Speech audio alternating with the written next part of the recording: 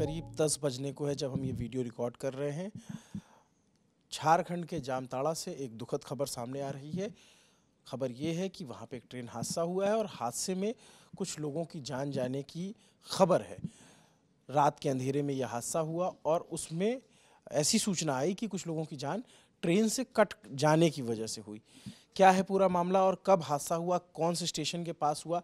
जामताड़ा, झारखंड का वो ज़िला जो आमतौर पे कई बार साइबर क्राइम को लेकर के भी चर्चा में रहा, वहाँ पे लाइब्रेरीज खोली गई तो उसकी भी चर्चा हुई।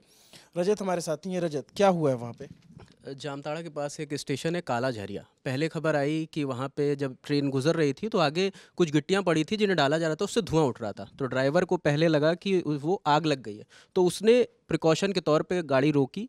लोगों को लगा कि ये स्टेशन है, लोग उतरने लगे और उधर से झाझा झाझा आसनसोल एक्सप्रेस ट्रेन आ रही थी जिसकी वजह से दो लोगों की ऑन द स्पॉट अभी तक जो जानकारी मिली ऑन द स्पॉट मौत हो गई दो लोगों का शव रिकवर कर लिया गया। हाँ उसके बाद जो रेलवे की तरफ़ से बयान आया है उसमें कहा जा रहा है कि तस्वीरें आई हैं ये ये विजुअल चल रहा है ब्लर करके दिखाया जा रहा है इसको अगर इसको हम ऐसे थोड़ा बड़ा कर सकते हैं।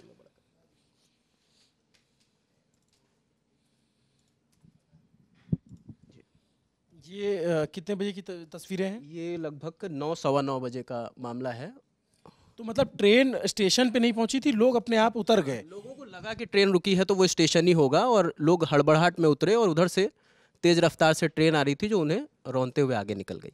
अच्छा हाँ। कई बार ऐसा होता है कि लोगों को लगता है स्टेशन अब थोड़ी दूर है तो पहले उतर जाए उस तरह का भी कुछ हो सकता है। रात का अंधेरा था तो लोग सही से अंदाज़ा लगा नहीं पाए इस चीज़ को लेकर। हालाँकि रेलवे की तरफ़ से ये कहा जा रहा है कि दो लोगों ने चेन खींची है और तब ट्रेन रुकी है और वो जल्दबाजी में उतरे तो उधर से कोई ट्रेन आ रही थी जिस वजह से हादसा हो गया। और बाकी कुछ लोग घायल बताए जा रहे हैं वो क्या बात है? उसमें रात के अंधेरे में भी कुछ भी क्लियर नहीं बता पा रहे हैं। दो लोगों का शव रिकवर हो गया इसलिए वो दो का आंकड़ा प्रधानमंत्री का इस पे ट्वीट आया हुआ है जरा उसको देखिएगा। वो भी दिखा रहा हूँ आपको। ये हादसा हुआ है और इसके बाद रेलवे के अधिकारी भी वहाँ मौके पर मौजूद हैं ये। एडीएम की तरफ़ से बयान आया वो भी हाँ। ये ये प्रधानमंत्री की तरफ़ से आएगी pain by the mishaps in Jamtara Jharkhand my thoughts मतलब लोगों के प्रति संवेदना व्यक्त कर रहे हैं पीएम। इसमें अनंत कुमार जो वहाँ के एसडीएम है उनका भी बयान आया है। उन्होंने भी यही बताया कि दो बॉडी रिकवर हुई हैं। हम एक हेल्पलाइन नंबर जारी कर रहे हैं। बाइट है? बाइट अभी है। पीटीआई पे कोई बाइट शो कर रही है? ये वहीं से हाँ। एसडीएम है। जी प्ले करिए इसको। वो ज़्यादा बेहतर बता पाएँगे क्योंकि जो व्यक्ति मौके पर मैं फिर से लगा देता हूँ। कर दीजिए। प्रखंड के पास जो काली झरिया जो ये रेलवे फाटक है वहाँ पे जो पैसेंजर गाड़ी जो रुकी थी जो पैसेंजर कुछ उतरे हैं और इस बीच जो लोकल ट्रेन जा रही थी उसके चपेट में आने से कुछ लोग को कटने की सूचना मिली थी। तो उसके बाद हम लोग आरपीएफ और जिला पुलिस बल के साथ हम लोग यहाँ पर सर्च अभियान किए हैं। अभी तक दो बॉडी रिकवर हुई है। और साथ में हम लोग हेल्पलाइन नंबर जारी करने का भी रिक्वेस्ट किए हुए हैं रेलवे से। और जल्दी जारी होते ही हम लोग भी प्रशासनिक जिला प्रशासन स्तर पर भी उसको हम लोग टेलीकास्ट कर देंगे सो दैट कि जिनके भी परिजन हैं, उसके बारे में जो जानकारी लेना चाहते हैं, ले पाएँगे। और साथ में हम लोग जो हमारे अस्पताल हैं वहाँ पे भी सुपरवाइजर को रखे हुए हैं मेडिकल ऑफिसर को रखे हैं कि कोई भी अगर घायल भी हैं, इलाज के लिए आ रहे हैं तो उनके बारे में सूचना कलेक्ट कर ले सो देट कि उनके परिवार को हम लोग इन्फॉर्म कर दें कि भाई पैनिक होने की बात नहीं है। उनके बारे में जो भी सूचनाएँ होंगी उनको तक पहुँचा दें घायल कितने लोग हैं, सर?